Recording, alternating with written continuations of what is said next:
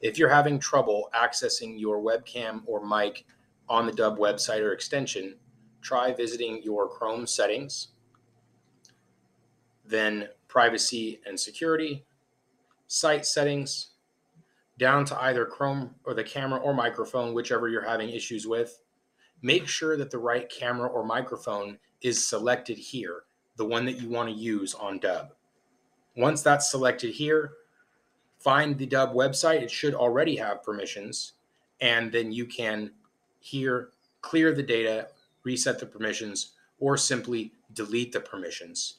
Then, when you revisit the website and record a video, it will ask for permission to access your webcam and mic here in the top left corner. This is as long as the device itself, whether you're on Mac or PC, has given Chrome access to your webcam in the device settings.